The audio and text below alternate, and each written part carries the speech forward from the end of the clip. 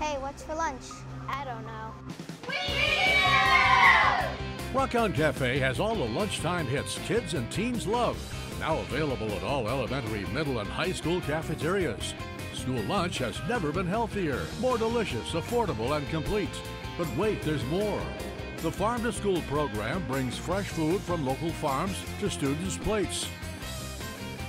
Best of all, Rock On menu items are kid taste tested and approved. Today's Rock On Cafe menu is brought to you by UHS. Hello, I'm Kylie from Johnson City. Today's Rock On Cafe menu is Chicken mac and cheese, garlic breadstick, steamed broccoli, chilled mixed fruit, and low fat milk. The Rock On Cafe second menu choices are Ham and cheese sandwich, yogurt meal, chef salad, rock on.